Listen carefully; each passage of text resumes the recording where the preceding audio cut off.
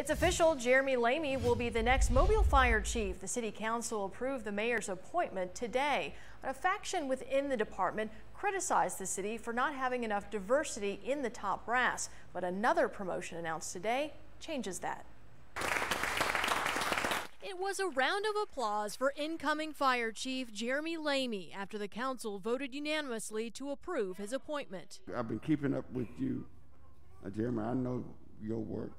I, I'm supporting you 100%. Lami is replacing Mark Sealy, who retires this month. The second generation city firefighter currently serves in the top brass as Mobile Fire Rescue Chief of Staff. Under Chief Sealy's leadership, we've, we laid a great foundation, but we can improve and we will improve.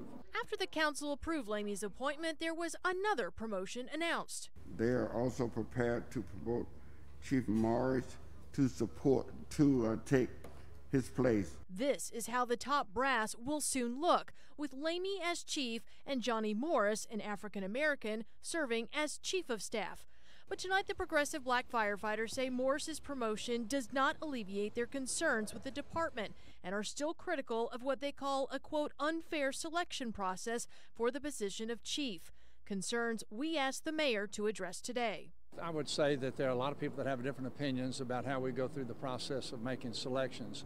But what we're trying to do is we're trying to do what's in the very best interest of all the citizens of the city of Mobile. And we feel that Jeremy Lami, touched all of those boxes.